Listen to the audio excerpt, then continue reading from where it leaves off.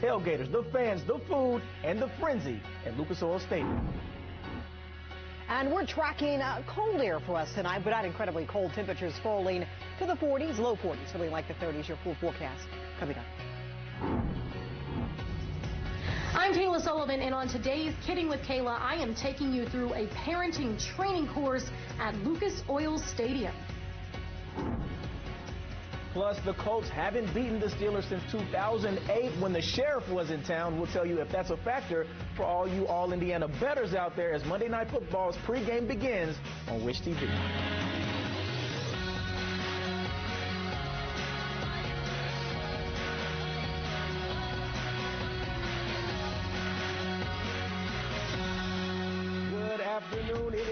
Is Monday, November 28th, and today is all about football. Thank you for spending the day with us here on All Indiana. We have full coverage of what fans can expect tonight, starting off with News 8's Charlie Clifford. He's live at Lucas Oil Stadium as the Colts get ready to take on the Pittsburgh Steelers. Charlie, no secret, man, this is a must-win for the shoe on the big stage. First home Monday night game since 2015.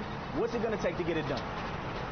Randall, let's just make this clear off the top. What are we about at Wish TV? Family, the community, and bringing you the biggest Colts games live on Wish TV here locally. It starts tonight with, as you mentioned, you've waited for seven seasons to see the Colts playing one of the best venues in football on Monday Night Football. That has been a major topic of conversation for Jim Irsay over the past three or four years.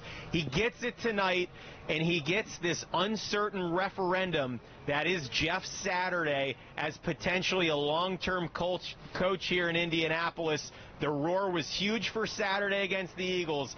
Imagine what it will be like tonight, knowing the Colts' backs are against the wall, four, six, and one. There's only one way to go the rest of the way, and that starts with a win tonight against the rival Steelers Saturday this past week. He was ready to run through a wall for Monday Night Football on Wish TV. I sure hope they feel it all, right, AC? Like I, that's the way I see it. They're all they're all must win. When I got here, it's it, you know they're all must win. So um, yeah, when, when, you're staring at where we are um, and, and trying to make a push, but but again, the process matters and the way that we're going about it matters. And that's kind of what I've been been preaching to the guys is that it's being able to transfer what we're doing on the practice field to the game field and that execution coming to life there. Because at every at every point in the game it's going to become a must right in the moment. And so I think guys have done a good job of understanding it. The wins will take care of themselves. We got to make sure we're taking care of the process to get ourselves there Okay, Jeff Saturday, the votes are still being cast. There is no question. Although the Colts have a ton of ground to make up in the wild card standings, just seeing the Colts fans around here pregame, this fan base has not quit on this team just yet, and a win tonight could totally change the conversation around Indianapolis, Randall. I appreciate that, Charlie. Our guy out there with the best coverage in Indiana. We appreciate you, man. And there's no secret, guys. We know that this is a big, big game for the Colts. As Charlie said, they haven't beaten the Steelers in quite a while. First Monday night game in quite a while. A good night to make some good things happen. Now let's go to News 8's Alexis Rogers and Phil Sanchez outside the Pro Shop entrance of the Lucas Oil Stadium. They have more coverage of what's ahead in tonight's game. How's it feeling out there right now, guys? How you feel?